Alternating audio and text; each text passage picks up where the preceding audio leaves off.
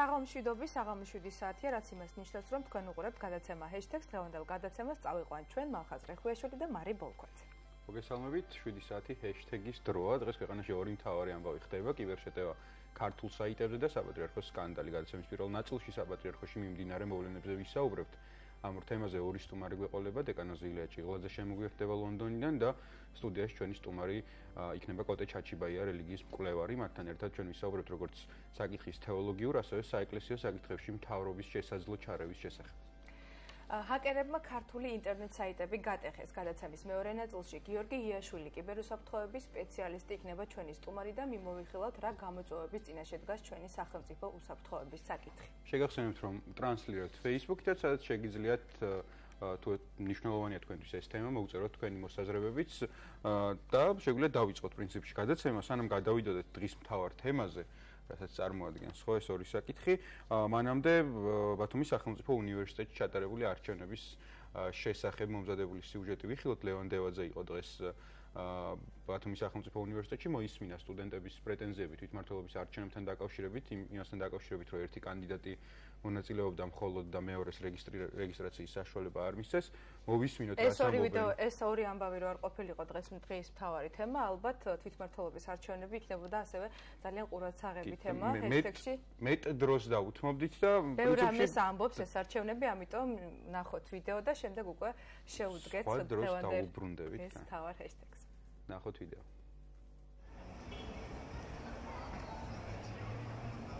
მე გათავართ ბეხა უგვაძე სტუდენტთა მართლობის ძველი მოწვევის წევრიც და ახალი მოწვევის წევრიც. ანუ მე ასე ვარ ერთ-ერთი ინიციატორი თვითმართველობის ხმაზე მიღებული ინიციატივის იმის შესახებ რომ მომხდარიყო თვითმართველობის არჩევნების ჩანიშვნა იმ დღესვე დამთავრებული ხელმოწერები იმ დღესვე შემდგარიყო, მაგრამ როგორც მოგეხსენებათ, არის კატეგორია თვითმართველობის წევრების, რომელიც აცხადებს იმას, რომ ეს მოხდა გაყალბებით და ან სპეციალურად მოგვიწევს ის რომ არ მიიღო მონაწილეობა არჩევნებში და ასე შემდეგ, მაგრამ ეს არ არის ანუ სრული აბსურდი არის ეს, იმიტომ რომ თვითმართველობის ხმა როდესაც იყო იქ იყო დასწრებული 82 წევრი და როდესაც თვითმმართველობის სხდომა როდესაც მიდიოდა ბოლოსკენ, ანუ მაშინ რამოდენიმე წევრმა გავიდა ადრე, რამოდენიმე კი ანუ საკმაოდ ბევრმა გავიდა გარეთ და დატოვა სხდომა. მე და კიდე ორმა სტუდენტმა და თათავაძე და ზურა სურმანიძე მივიღეთ ესეთი გადაწყვეტილება, მოვითათბირეთ ერთმანეთში და გავაცანეთ შემდეგ იქ დამწრეს ან წევრებს. შევთანხმდით იმას, რომ უნდა დასრულებულიყო ეს ყველაფერი თვითონ სხდომაზევე და უნდა გაგრძელებულიყო შემდეგ მეორე მესამე დღეს, იმიტომ რომ ძალიან მარტივი არის თუ გაყალბდეს ეს ყველაფერი, იმიტომ ჩემს ჩემ პირად ნომერს სახელგვარს და ხელს ნებისმიერი მოვაწერთ და მე ძალიან რთული იქნება იმის წესება, რომ მე არ მომიწერია ხელი და ასე შემდეგ. კრების თავმჯდომარე დავით ქობულაძე რამდენიმეჯერ ხაზგასმით აღნიშნა, რომ ხელმოწერების შეგროვების საშუალება კანდიდატებს ჰქონდათ ორშაბათს 12 საათამდე. ეს აღნიშნა ოფიციალურად მე პირადად ვკითხო, რომ რაიმებს გავს ფაქტს არ ქონოდა ადგილი.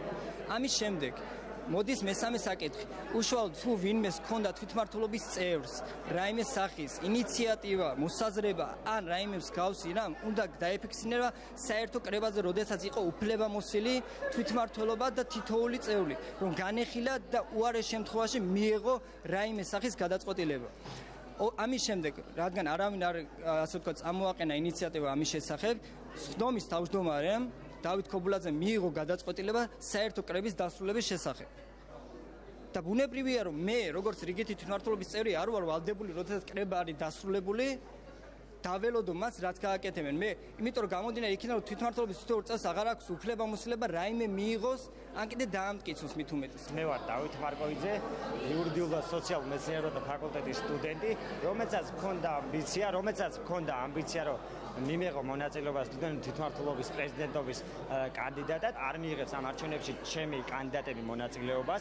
პროტესტს უცხადებთ ვინაიდან და რადგანაც ის ფურცელი რომელმაც ის ფურცელი რომელიც მათ მიიღეს არის ჩვეულებრივი ფარატონია ფურცელი და არანაირი იურიდიული ძალა არ აქვს ვინაიდან რადგანაც ეს ხდომა უკვე იყო შეწყვეტილი და არაუფლება მოსილი. ეს იყო უბრალოდ მეგობრული საუბარი და არა კერება იმიტომ რომ კერება დასრულებული იყო ოფიციალურად უფლება მოსილი პირის დავით ქობულაძეს მიერ. მოსემულება ასეთი იყო როდესაც იყო შეხვედრა, შეხვედრაზე, როდესაც საუბრობდით, იქ უმრავლესობამ დააფიქსირა. ამ შემთხვევაში უმრავლესობა არის თვითმართველობის დებულების წესი 52 სტუდენტი, რომელმაც გამოხატა სურვილი და ხელისაწევით დააფიქსირა თავიანთი აზრი და მოსაზრება და შემდეგ ფურცელზე გადავიდა ეს ყოველი. ეს ცვლილება ითვალისწინებს იმ პრინციპს, რომ არჩევნების რეგისტრაცია სარეგისტრაციო ფორმა დასრულებულიყო დღის ბოლომდე. იქედან გამომდინარე, რომ ერთი წუთი დამასრულებ დღის ბოლომდე, დღის ბოლომდე დასრულებულიყო რეგისტრაცია საპრეზიდენტო კანდიდატურის. იქედან გამომდინარე, რომ ერთ რამოდენიმე სტუდენტმა ინიციატივა გამოხატა ამ თემასთან დაკავშირებით, იმიტომ რომ არ გაყალბებულიყო ხელმოწერები და ამ პრინციპს დაეთანხმა სამი სტუდენტი, რომლის შედეგადაც სრული უმრავლესობის შედეგს შედეგზე გავედით და ანუ გადაწყვეტილება მივიღეთ. ანუ ინიციატივა წამოაყენა სტუდენტების გარკვეულმა რაოდენობამ. სამი იყო ის საინიციატივო мотивация იყო გისმეთ мотивация იყო ის რომ რეგისტრაციის э, დასრულებულიყო რეგისტრაცია იმ დღესვე. იქედან გამომდინარე იქედან გამომდინარე გიხსნით კიდევ ერთხელ იქედან გამომდინარე რომ არ გაყალბებულიყო ხელმოწერები.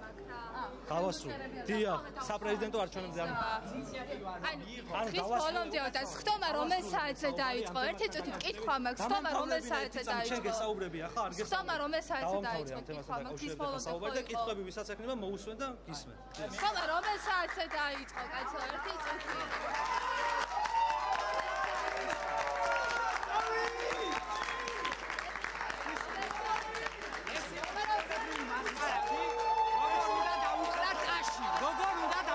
აში იმ პარტიულ კანდიდატს რომელიც არის მხოლოდ იმის მხარდამჭერი რომლის ინტერესებსაც ატარებს. ეხა დავაკეთებ ეს ხდომა ამბობს დღის ბოლომდე და დღის ბოლოს დაიწყოს ხდომა და თუ კი საერთო კრება არ იქნება და 52 კი არა სულ 103-ვე კანდიდატმა რომ მიიღოს მონაწილეობა ამაში და თავისი ხმა დააფიქსიროს უფლებამოსილება არ იქნება.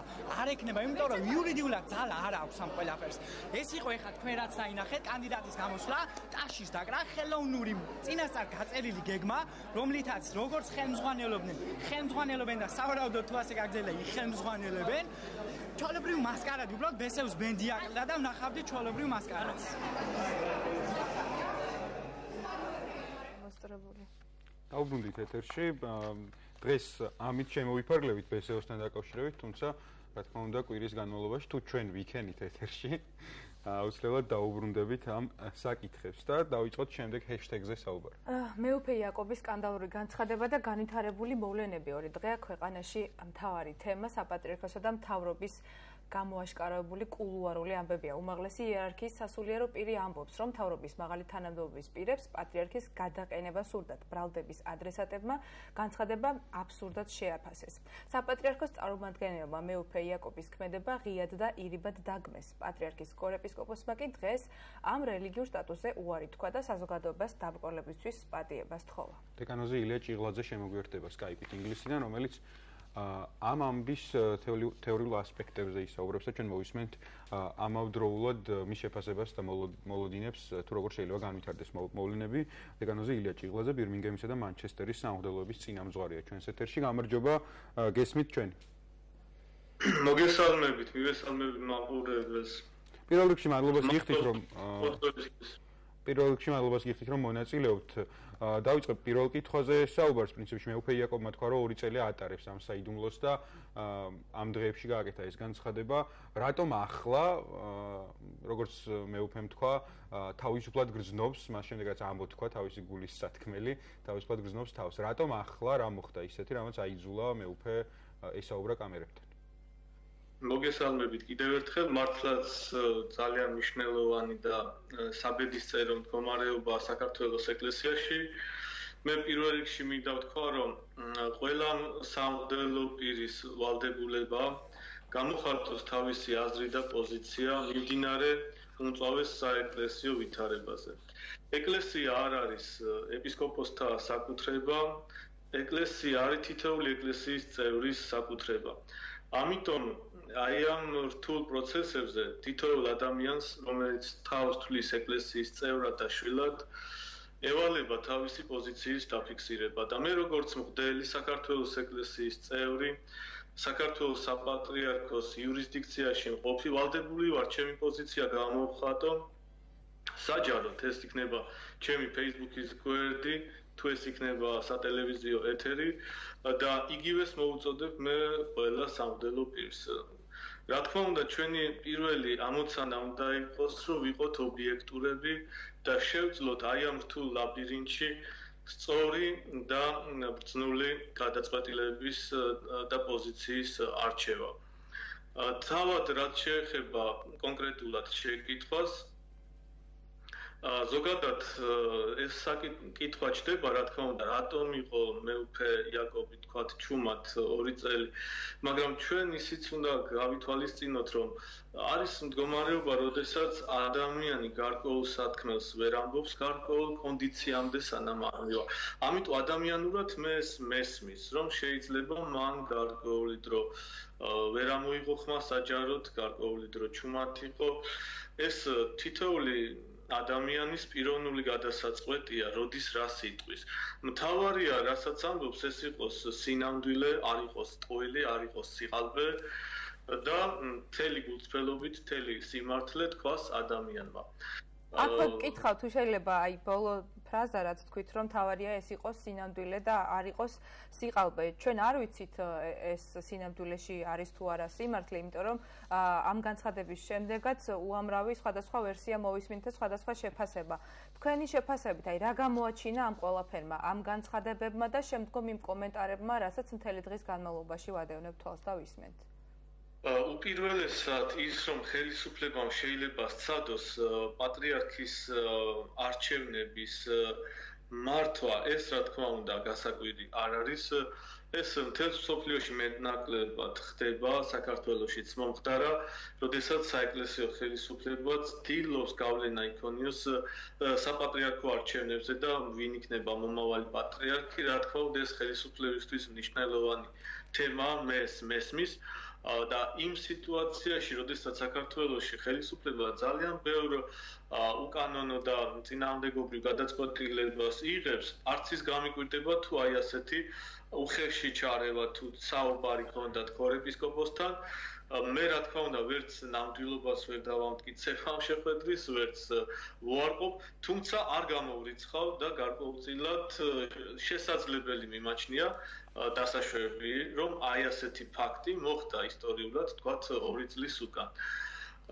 თავარი არის რა რომ ეკლესიამ შეძლოს როდესაც ღმერთი ინებებს და აი ეს არჩევანი დაადგება აა პატრიარქის ახალი პატრიარქის არჩევანი ჯერ ძალიან უხერხული ამაზე საუბარი, როდესაც ყავს მოქმედი პატრიარქი, მიუხედავად მისი ასაკისა და ჯანმრთელობისა, მაგრამ რადგანაც აი ეს საკითხი ასე დადგა თანაც პირველ რიგში მოსაყდრის დადგინების შემდგომ უკვე ძალიან გააქტიურდა ეს უკვე ნიშნავს, რომ ჩვენ ვიწყებთ მთელიერი იწევს ამაზე მსჯელობას და მსჯელობს კიდევაც და მთელი ეკლესია. ამიტომ მე ვიტყოდი რომ თავარი არის რომ ეკლესიამ შეძლოს დამოუკიდებლად და სწორად არჩევა პატრიარქის. ამას არ აქვს მნიშვნელობა, როდის მოხდება, რამდენი წლის მერე მოხდება, როცა არ უნდა მოხდეს, ხომ? ეს უნდა მოხდეს რჯულის კანონის მოთხოვნების საფუძველზე, სრული ობიექტურობისა და სრული სამართლიანობის პირობებში. ყოველგვარი რაღაც მიკერძოების და სამთავრობო კულუარული გადაწყვეტილების გარეშე. აქვე კითხვა მინდა დაგისვათ ჩვენ ვისმენთ მთელი ორი დღეა ხო ფაქტობრივად სხვადასხვა ფაქტის შესახებ. მე არ ვსაუბრობ ეს ფაქტები მართალია თუ ტყუილია. ვსაუბრობ თვითონ მოვლენაზე რომ შესაძლებელია საპატრიარქოში ასეთი დაპირისპირება არსებობდეს. მე არ ვსაუბრობ რომ რაც წერია მამალაძის წერილში შესაძლოა მართალი იყოს ან ტყუილი მაგრამ ის რომ ეპისკოპოსები და მაღალი რანგის სასულიერო პირები ასე დაუპირისპირდნენ ერთმანეთს უკვე არის ფაქტი და მიუხედავად იმისა, რა გაირკვევა ვინ იყო მართალი ამ დაპირისპირებაში, მაინც საინტერესოა როგორი გავლენა ექნება ამ ყველაფერს საზოგადოებაზე, სახელმწიფოზე, სასულიერო ცხოვრებაზე, იმიტომ რომ ეკლესია როგორც ყველაზე მაღალი სანდოობის ინსტიტუტი საქართველოში, მათ შორის ძალიან ძლიერი ძალაა ელექტორალური თვალსაზრისითაც, ხო და ძალიან საინტერესო იქნება, რას რას უქადის ეს მოვლენები, როგორც ეკლესიის ავტორიტეტს, ასევე ხელისუფლებას. ან თავისთავად მდგომარეობა ძალიან მძიმეა. როდესაც მოქმედი ეპისკოპოსი, მოქმედი ეპისკოპოს მკვლელობის მცდელობაში ადანაშაულებს ან სხვა რაღაც საშინელ ბრალდებებს უყენებს, ეს შეიძლება ითქვას შეფასდეს როგორც საეკლესიო კატასტროფა. აი ამის სახელი არის საეკლესიო კატასტროფა. მაგრამ გადაწყვეტის და პრობლემიდან და კრიზისიდან გამოსვლის ერთადერთი საშუალება არის საეკლესიო კრება, პირუთვნელი, ესე იგი, სრული სამართლიანობითა და ჯულის კანონით აღჭურვილი საეკლესიო კრება, რომელიც ყველაფერს აი ამ პრობლემებს განიხილავს და გადაწყვეტს. დამნაშავეს დასჭის ღირსეულს ამაღლებს და აი იმ გარკვეულ პრობლემებს და ეს ადმინისტრაციულია თუ რაღაც საეკლესიო თუ ასე შემდეგ ეკლესიაში ბევრი პრობლემა დააგროვდა ეს ეხება როგორც საეკლესიო წვიდად საეკლესიო საკითხებს ისე ადმინისტრაციულ ფინანსურ ეკონომიკურ საკითხებს ძალიან ძიმე პრობლემები ამ ხრივ. არ შეიძლება არ ითქვას, რომ აქ აქვე ჩაგეჭრებით და დაგისვათ ერთ კითხვას თქვენ საუბრობდით რა სხვადასხვა პრობლემაზე. ბექამ ინდიაშვილი თეოლოგი დღეს ერთ-ერთ თავის ინტერვიუში ამბობს, რომ ამ პრობლემებში, მათ შორის ამ ნდობის კრიზისში, ხო, რომელიც დგება ეკლესიის მიმართ, დამნაშავე არიან არა მხოლოდ პატრიარქი, რომელიც რა თქმა უნდა დამნაშავეა ბექამ ინდიაშვილის აზრით, ჩემს აზრს არ ვამბობ, არამედ დამნაშავეა მორალურად პასუხისგებელია თითოეული მღვდელი, რომელმაც შესაძლოა იცოდეს რა პრობლემების წინ დგას ეკლესია და არ საუბრობდეს ამაზე ხმამაღლაო, იმიტომ რომ სწორედ ამ ჩაკეტილობამ მიგვიყვანა ამ პრობლემებამდე. თქვენ სად ხედავთ პასუხისგებლობას დაბალი რანგის სასულიერო პირების, მაღალი რანგის სასულიერო, მათ შორის თქვენს პასუხისგებლობას? დიახ, დიახ, სავსებით გეთანხმებით. და წამოყენებულ აზრს მე ვეთანხმები, რადგანაც დასაწყისშიც თქვი, რომ თუ ვართ ჩვენ ეკლესიის წევრები, ეს იქნება ერისკაცი, დიაკონი, მღვდელი, თუ ჩვეულებრივი ბერი და მონაზონი, აა ყველანი ვალდებულნი ვართ გამოხატოთ ჩვენი პოზიცია და აა ჩვენ რაღაცნაირად დავსახოთ საერთო აა მიზნები და გეგმები რანაირად შეიძლება კრიზისიდან გამოვიდეს ეკლესია, რადგან თავში ვთქვი და გავიმეორებ, ეკლესია არ არის მხოლოდ ეპისკოპოსი და ეკლესია არ არის ეპისკოპოსთა საკუთრება. ეკლესია არის თითოეული წევრის საერთო საკუთრება. თვითონ სიტყვა ეკლესია ნიშნავს ბერძნულად კრებულს, ანუ ადამიანების საკრებულო, ვისაც წამს უფალი იესო ქრისტესი. შესაბამისად, ეკლესიის ყველა წევრი თავისთავად პასუხისგებლობის მქონეა მიმდინარე საკითხებზე. პირველ რიგში, აი მაგალითად წმინდა გრიგოლ ღვთისმეტყველი ბრძანებს ასეთ საოცარ სიტყვებს, რომ ძალიან ხშირადო დუმილით გაიცემა ქრისტე. ეს რას ნიშნავს?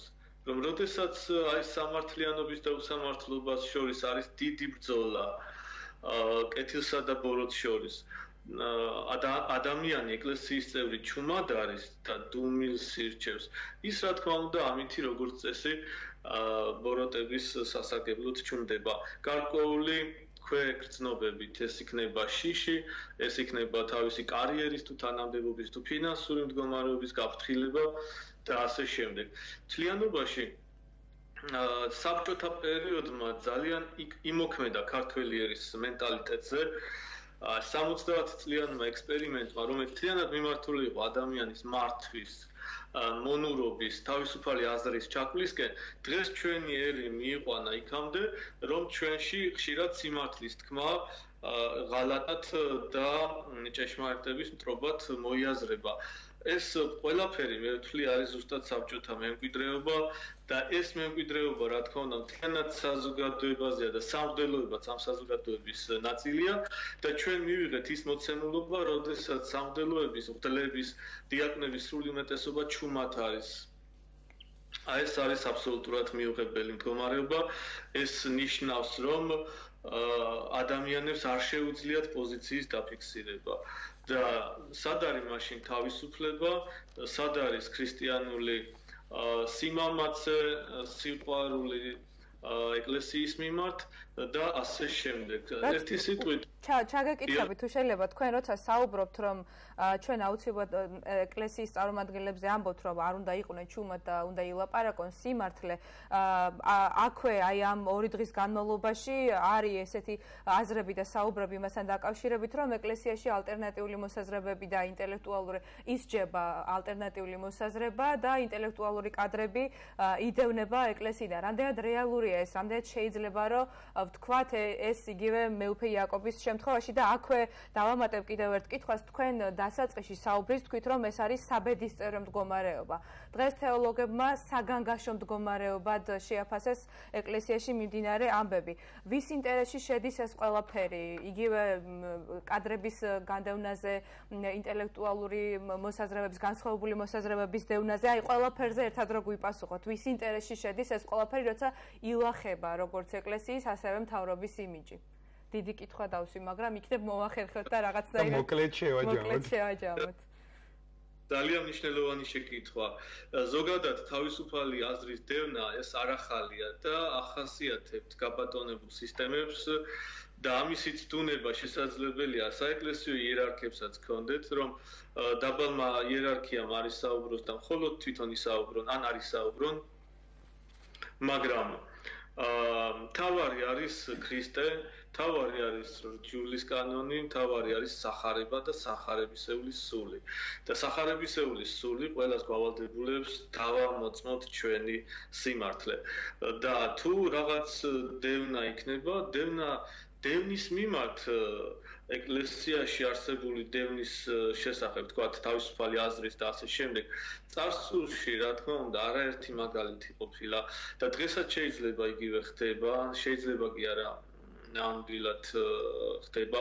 ყოფილა შემთხვევები რა ჩემს პოზიციებზეც და ჩემს თავისუფალ აზრზეც შენიშნა თუ გულისწყრომა თუ მრისხანება თუ ასე შემდეგ ყოფილა და ცდილობა რომ ჩემი გაჩუმება მომხდარიყო, მაგრამ მე მიმაჩნია რომ მე უნდა ვთქვა ის, რასაც ვფიქრობ, რომ ეს არის სიმართლე და ეს ეკლესიისთვის არის მნიშვნელოვანი და ჩვენი ქვე დიდი მადლობა თქვენო აღალგირსება ჩვენ როგორც არავის ალბათ ესმის სიტყვის თავისუფლების ნიშნულობა და ჩვენი გაჩუმების მცდელობის რაღაც ნიშნებიც იკვეთება. მადლობა რომ იყავით ჩვენი სტუმარი. მოხარული ვიქნები თუ მეუფე იაკობის შემთხვევაც იქნება ეს შემთხვევა რომ ის არ გაჩუმდა და ილაპარაკა. მადლობა რომ იყავით ჩვენთან ერთად. წარმატებულ საღამოს გისურვებთ დეკანოზე ილია ჭიღლაძე ბირმინგემისა და მანჩესტერის სამღვდელოების წინამძღვარი იყო ჩვენი Skype სტუმარი, გაერთიანებული სამეფოდან გვერდებოდა დეკანოზი და შეგვიძლია მადლობა და ვემშვიდობებით. შეგვიძლია შემდეგ სტუმარს ვუხმოთ.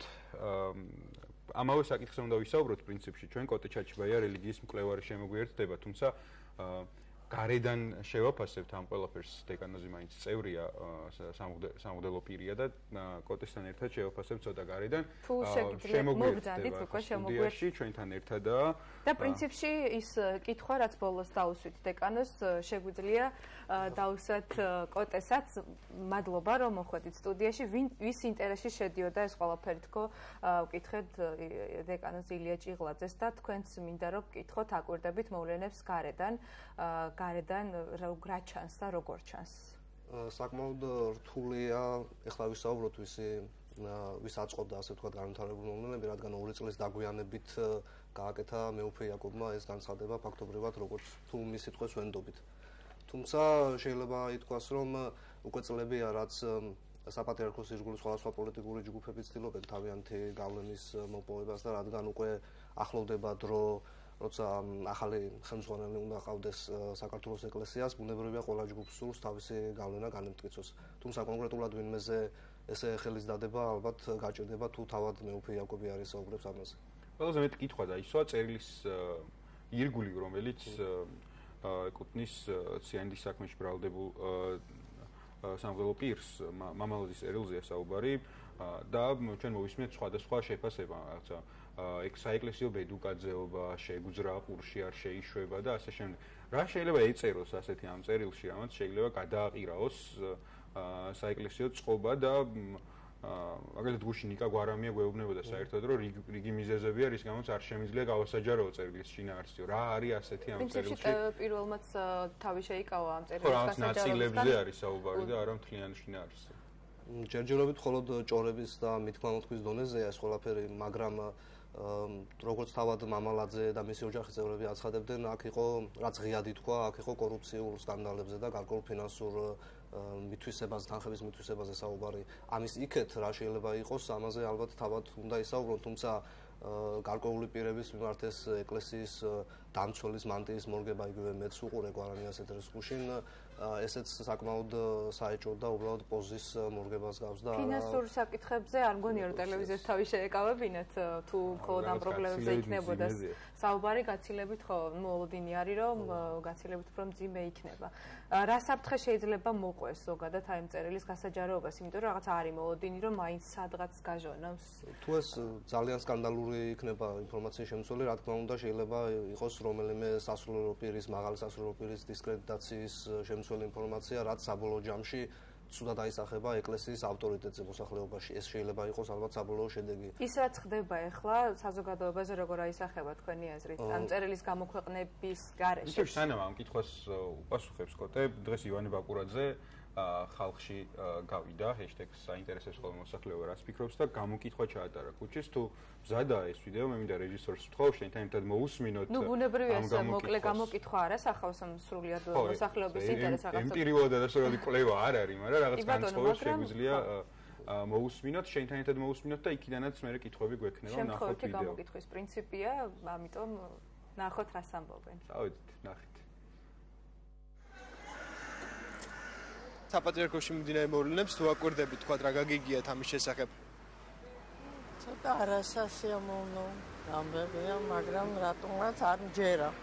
თქვენზე ფაქტები როგორ აისახება, თქვათ, რას მეტყოლებს ის ფაქტები, რაზეც ტელევიზიაში ყველაზე ხშირად ამისაუბრა? მეტყოლებს, რომ ებძვიან მართმადიდებლობას. ჩვენ წუხელ უყურებდი ტელევიზორს და ცუდადაო და მნაირი და მე იქ შეხრა შემოხრა იწება და იგი თანამდებობაზე გასვლა და როგორ შეიძლება საპატრიარქო იმაზე ღმერთის იდეა სარწმუნება მე მაგათთან მიკვისა ზოგი ბრაზდება იმისა რომ როგორ შეიძლება ღმერთის იმაზე რომ ერთი მეორეს ეგია მეგევიდე სათავეში ბილს გამს და რაფერს არაფერ არ შეიძლება ღმერთის სარწმუნება და ყველამ უნდა ვიცამოთ ღმერთი და ვინც რომ ჭკვიანია და ვინც გაგებულია იმან უნდა ეუფლოს და რაცხა ვინც რომ არის და ბალფენები რაცხა იყო და შემფენებს. უარყოფითად აესახება ჩემზეს და ალბათ ნებისმიერ მოქალაქეს რა. რატომ უნდა იყოს მოსაწონი ასეთ საქციელი პატრიარქზე დაპირისპირება?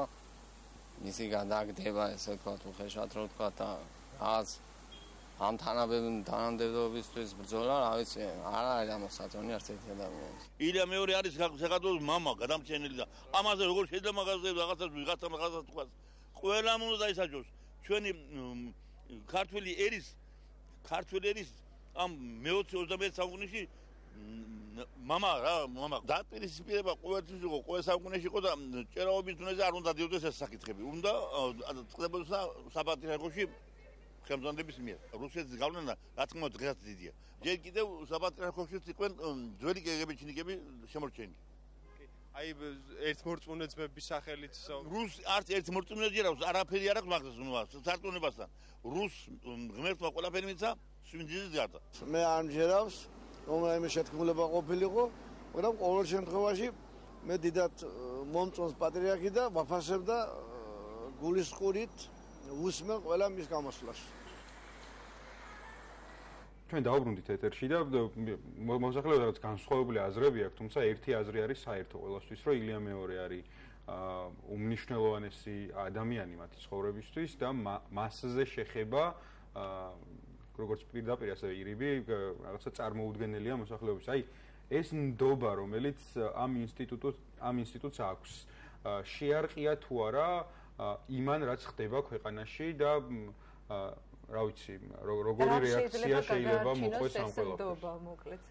ხო, როგორც კლუბები გვიჩვენებს, გარკვეულწილად სიანდის სკანდალმა იმოქმედა ეკლესიის რელიგიაზე, თუმცა ჩემი აზრით ეკლესიის ავტორიტეტი ძირითადად ძირითადად დაყრდნობილია თავად ილია მეორის პიროვნულ ქარიზმაზე და იმ ავტორიტეტზე, რაც მან აწლეულობის განმავლობაში მოიხვეჭა. ასე აქედან გამომდინარე, ჯერჯერობით შეუძლებელია ეკლესიის რეიტინგის თუ მისი მნიშვნელობის ვარდნაზე ვისაუბროთ, სანამ ილია მეორე არის მისი ხელმძღვანელი. თუმცა ილია მეორის შემდგომ მე ვერ ვხედავ იერარქებს შორის ისეთ თქვა ქარიზმატულ ფიგურას, რომელიც შეძლებდა მის მსგავსად მიიღო პოლიტიკურ პროცესებში და ზოგადად სოციალურ ცხოვრებაში ეთამაშა ისეთ მნიშვნელოვანი როლი, როგორცაც ილია მეორე ასრულებს დღევანდელ დღეს. მოსაყდრეების საკითხი იყო ძალიან აქტუალური, მათ შორის აი ეს ბოლო სკანდალიც ერთ-ერთი უკავშირდება პატრიარქის მოსაყდრის დანიშნაში, ხელისუფლების შესაძლო კვალს ამ პროცესში და ასე შემდეგ. თქვენ როგორი საპატლება დაგჭათ, რამდენად ღია და სამართლიანი იყო პროცესი, რომელიც ვითარდებოდა საპატრიარქოში? როგორც მამაილიამ აღნიშნა, რა თქმა უნდა, ნებისმიერ ხელისუფლებას სურს რომ გავლენა ჰქონდეს ეკლესიაზე და ეს უახლეს საქართველოს ისტორიაც ამას ადასტურებს. თუმცა ეს პროცესი ამჟამად რა თქმა უნდა არ ყოფილა საჯარო, თუმცა ილიამ მეორეს ჰქონდა აბსოლუტურად უფლება და შეეძლო კიდევაც ამ წესით დარედგინა თავისი მოსაღდრე მოსაღდრეშიო. რა იქნება მომავალში, იქნება თუ არა ის სამომავლო პატრიარქი, ეს ეს ჭორები და ასე ვთქვა დაპირისპირება ეპისკოპოსებს შორის რეალურად რომ ვთქვათ ნაკლებ გავლენას ახდენს მოსახლეობის ყოველდღიურ ცხოვრებაზე და ეს სკანდალები გაუთავებელი, რასაც ზოგიერთი მედია საშუალება გვთავაზობს და გარკვეული პერიოდულობით ასე ვთქვათ აქცენტირება ხდება ამ საკითხზე, უბრალოდ ჩემი აზრით გადაფარავს სხვა სოციალურ საჭიროებებს, რაც გაცილებით აწუხებს რიგით მოქალაქეს ვიდრე ეპისკოპოსებს შორის რაღაც თანამდებობის გამო დაპირისპირებები. უნდა გქონდეს თუ არა სინოდზე უნდა გკითხოთ. უნდა გამართულიყო აქამდეც უკვე სინოდის ხდომა და დღეს ანდრია ჯაღმაიძემ თუ არ ვწდები ანდრია ჯაღმაიძის კომენტარი იყო რომ წლის ბოლომდე აუცილებლად შედგება სინოდის ხდომა.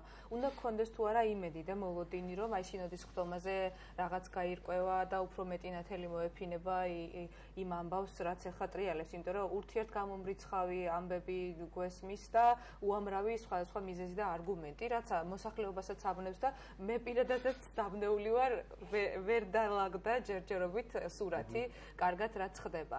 რა რისი მოლოდინი უნდა გქონდეს და სინოდზე როგვით. საკმაოდ რთული შემთხვევა ეს კორეპისკოპოს იაკობის განცხადება, იქიდან გამომდინარე რომ მიუხედავად იმისა, რომ ის საკუთარი სურვილით ასე ვთქვათ გათავისუფლდა თანამდებობიდან, შინაარს, მისი განცხადებების შინაარს არც თავად არ გამიჯუნია და არც საპატრიარქო დღემდე არ გამიჯუნია. და ეს უნიშნელოვანეს თანამდებობაზე რჩება, არის კიდევ წინამძღვარი ბოდიშ. დიახ, დიახ, ეპისკოპოსად რჩება კლავაც, მაგრამ აქ ცოტა უხერხული მომენტია, საპატრიარქო რომ გაემიჯნოს მისი კორეპისკოპოსის განცხადების შინაარს, ფაქტობრივად ტყუილში უნდა ამხილოს საკუთარი ერთ-ერთი ყველაზე მაღალი იერარქი და არ ვიცი როგორ გაართმევენ თავს ამ უხერხულ მომენტს, თუმცა სინოდი უკვე თითქმის ერთი წელიწადი არ შეკრებილა და ამის გარდა კიდევ დაგროვდა უამრავი მნიშვნელოვანი საკითხი, იგივე უკრაინის ავტოკეფალიის საკითხის განხილვაც, რაც რის რაც განაპირობებდა ალბათ გარკვეულწილად ამ გაჯანჯელებას სინოდის მოწვევისა. ან ჩვენ გვაქვს ხა ორი ვარიანტი, ხო, რომ საპატრიარქო მან უნდა თქვას, რომ ცილის მწამებელია.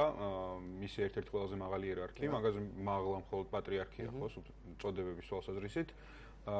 ან ცილის მწამებელია, ან მართალს ამბობს ორივე შემთხვევაში, ან ეპისკოპოსი უნდა განკვეთოს, ან საკუთარ თავზე დასაჯოს, რას ველით რო გითხრა და შეგვიჯამა. ალბათ რაღაც შუალედური ვარიანტის გამონახვა იქნება, რომ ან ვერ გაიგო ისე როგორც როგორც უცხრეს როგორც უცხრეს და რაღაც მსგავსი ხო ანუ არ რადიკალური გადაწყვეტილები ზოგადად განკვეთა ან მსგავსი ილია მეორის მართლობისთვის ნაკლებად არის მახასიათებელი მის მით უმეტეს მისი ერთგული ადამიანების მიმართ და ამიტომ ესე რადიკალურ ნაბიჯს თუმცა ზიადის ერთგულების განკვეთა გვახსოვს თუმცა შინაარს ალბათ მეტნაკლებად ირიბად მაინც გაემიჯნებიან ხელისუფლებასთან დაპირისპირების კონტექსტში ბოლო კითხვას დაგისვათ ძალიან მოკლედ მიპასუხოთ შეიძლება თუ არა ამ პროცესებმა რასაც ორი დღე ვადევნებთ თვალს განსაზღვროს რაღაცნაირად ბედი ეკლესიის.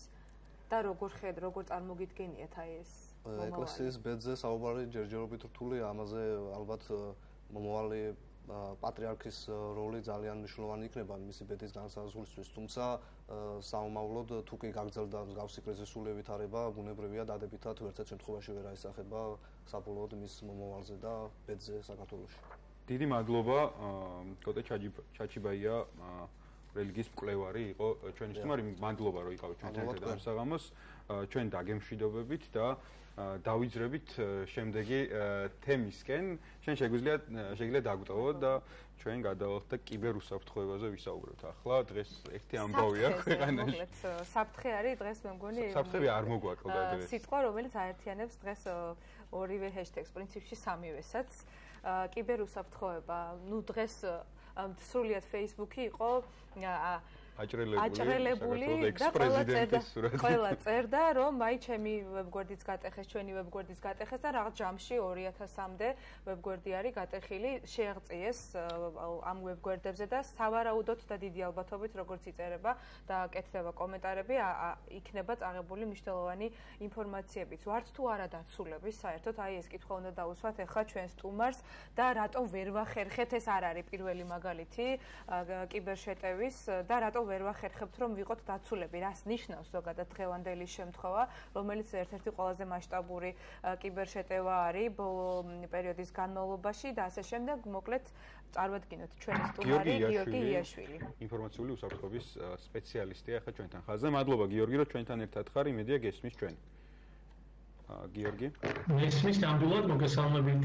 კიდევ ერთხელ მადლობა რომ ხარ ჩვენთან ერთად და დავიწყოთ პრინციპში ზოგადი შეფასებით რაც მოხდა დღეს რომ ორი ჰოსტინგ ჰოსტინგის პროვაიდერი დაიჰაკა როგორც მე მივხვდი ჩემი მწირი ცოდნით.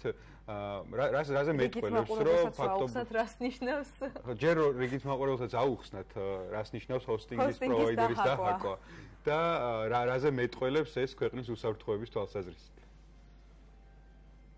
მოგესალმებით კიდევ ერთხელ მოგესალმებით თქვენს ტელემაყურებელს პირველ რიგში ჰოსტინგის მარტივი განმარტება რომ შემთავაზოთ მაყურებელს არის ის რომ უბრალოდ ეს ვებგვერდები განთავსებულია რაღაც კონკრეტულ ადგილას სერვერებზე ნუ ადრეს იყო რომ ყველა ვებგვერდი ან ყველა აპლიკაცია საჭიროებდა განსაზღვრულ სერვერს და ამისთვის იყო ცალკე ფიზიკური ინფრასტრუქტურა საჭირო თუმცა ტექნოლოგიის განვითარება მოიტანა ის რომ არსებობს თქვა ფიზიკური სერვერები, რომელსაც აქვს დიდი წარმადობა, მოცულობა, თქვა დაცულია, ასე ვთქვა, მეტნაკლებად დღეს ცოტა ისეთია ესეთი სიტყვის გამოყენება, თუმცა და ჰოსტინგი, ანუ პროვაიდერები, კომპანიების თავაზობენ სხვადასხვა ორგანიზაციებს მათი ვებგვერდების განთავსებას Oracle server-ზე და რეალურად ხდება რომ ერთი კომპანიის server-ზე ინახება მაგალითად 500 და 1000 სხვადასხვა ვებგვერდი, სხვადასხვა ორგანიზაციების და შესაბამისად აი დღევანდელი პრობლემა რაც დადგა იყო ის რომ მოხდა არასათითაოდ ამ დაახლოებით 2000 იყო საბოლოო მონაცემი რომელიც თქო ცნობილი გახდა ჩემთვის.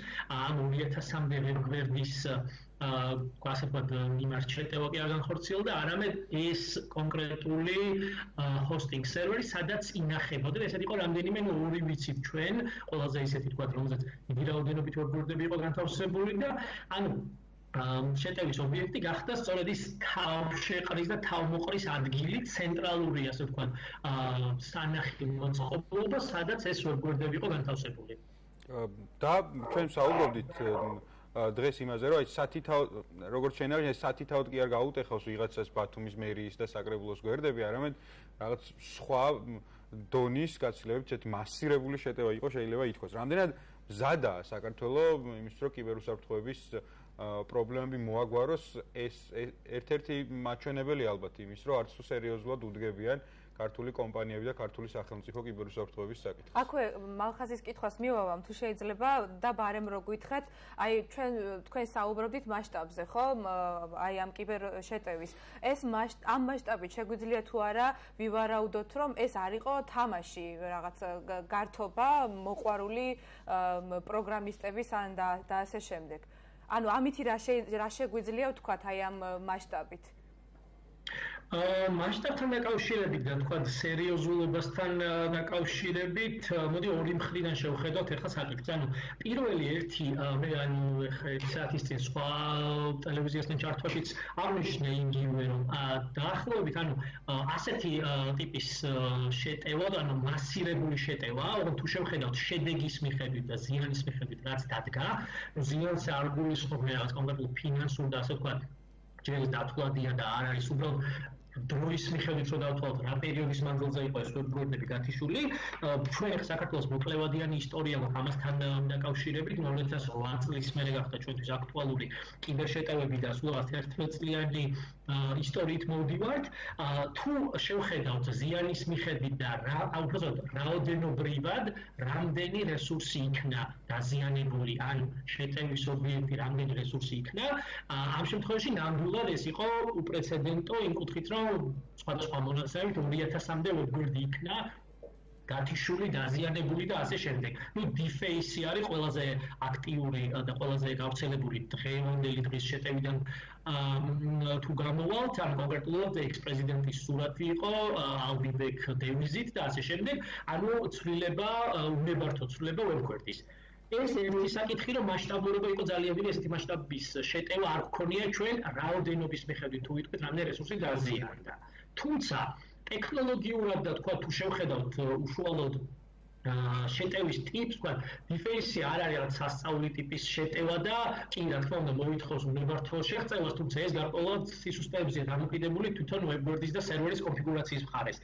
და აქედან გამომდინარე, დაუბრუნდებით წეღანდელ საკითხს, რაც ვან ვახსენე რომ ჰოსტინგის პროვაიდერის სერვერები და ინფრასტრუქტურა მოხდა ასე ვთქვა დაჰაკული და შესაბამისად გამოვიდა რომ რეალურად რამდენიმე ხო ორი გახდა ცნობილი ხო რას თქვენ ანიშნეთ და კიდე შეიძლება მაქსიმუმ 3-4 ჰოსტინგ პროვაიდერი გახდა შეტევის ობიექტი და ამას რეალურად ვერ ვიტყვით რომ იყო მასშტაბირებული და რაღაც ისეთი თქვა გიორგი დავაკონკრეტებ თუ გნებავთ მე მასშტაბურობიდან გამომდინარე ანუ ვიგულისხმე ის რომ შესაძლებელია ვიფიქროთ თუ არა რომ ეს არ იყო თამაში უბრალოდ ეს ადამიანი ან ადამიანები ან არ ვიცი ვინც გააკეთა არ იყვნენ მოყვარულები და მაღაც მაღალ გამოცდილებაზე და მაღალ ინტელექტზე გვაქვს საუბარი და მიზან მიმართულ ქმედებაზე გვაქვს საუბარი. ანუ ეს იგულისხმე, არის თუ არა ეს ის შემთხვევა, როცა ამას რაღაც ჩვეულებრივი მოყარული ვერ გააკეთებდა. რო რო დავაზუსტო დღეს მაგალითად სოციალურ ქსელში ვკითხულობდი, რომ ნატოს ქვეყნების ადგილას მე აუცილებლად წავიდოდი საქართველოში და ვნახავდი რა ხდება, იმიტომ რომ როგორც ჩანს რუსეთი რაღაცაზე ვარჯიშობს. საქართველოში ამ კიბერ შეტევებზე იყო საუბარი როგორც ჩანს რუსეთი შეიძლება ვარჯიშობდეს საქართველოში და შემდგომ ნატოს რომელიმე ქვეყანას დაეუქროს იგივეო.